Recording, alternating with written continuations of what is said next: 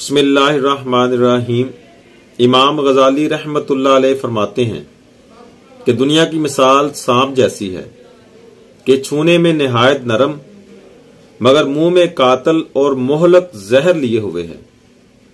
बाज लोग धोखा खा जाते हैं और समझते हैं कि हमारा बदन कितना ही दुनिया में मसरूफ रहे, मगर हमारा दिल दुनिया से फारग और खाली रहता है। याद रखो कि ये शैतानी वसवसा है। भला कोई शख्स दरिया में चले और पाँव ना भीगे, ये कैसे हो सकता है? दुनिया की मिसाल खारे पानी की सी है कि जितना पीते जाओगे प्यास उतनी बढ़ती जाएगी। भला जो चीज़ एक दिन तुमसे छूट जाने वाली है, उसमें मसरूफ होना, अगर अपने रंज का समान करना नहीं तो और क्या है? अल्लाह ताला ने अपनी रजामंदी को अपनी अतात में छुपा रखा है। लिहाजा किसी इबादत को कितनी ही छोटी क्यों ना हो, हकीर ना समझो। जो शख्स अपने आप को काबिल अजमत समझे हुए हो तो गोया वो अपनी असलियत से नावाकफ और खात्मा के अंदेशा से बेखौफ है। अगर तुम दुनिया की तलब करते हो और ज़रूरत से ज़्यादा दुनिया कमाने की तदबीरों में लगे हुए हो। ज़रूरी बात है कि परेशान रहोगे और दीन को हाथ से खो बैठोगे।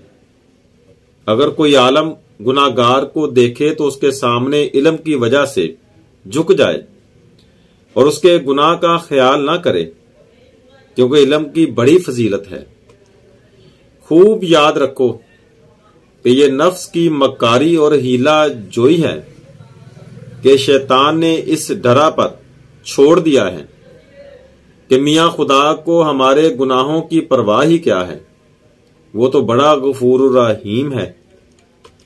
दुनिया की मोहब्बत का इलाज सिर्फ़ ये है कि तुम तन्हाई में बैठ के सोचा करो कि आखिर दुनिया की जानब मुझको इस कदर तवज्जो और आखरत से रूह गर्दानी क्यों है? अगर खलवत में फ़िक्र करोगे तो समझ में आ जाएगा कि सिवाय जहालत और गफलत के कोई वजह नहीं। कुत अकल में अगर एतदाल होता तो इंसान मुदब्बर, मुंतजिम और जकी व समझदार होता। अगर तुम नफ्स के पाबंद हो गए और ख्वाहिशात ताल्लुकात में जकड़ गए हो तो याद रखो कि हर किस्म की जिल्लत और रसवाई तुम्हें उठानी पड़ेगी।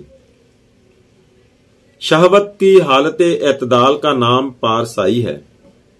नामर्दानगी सिर्फ़ उस वक्त पैदा होती है, जब शहवत अपनी हद एतदाल से बढ़ जाए। पारसाई अल्लाह पाक को पसंद है। इससे जो खसाइल पैदा होते हैं, वो सखावत, हया, सबर और कनात हैं। दुनिया की मोहब्बत और ऐसी बला है कि जिससे शाजो नादर ही कोई शख्स महफूज होगा।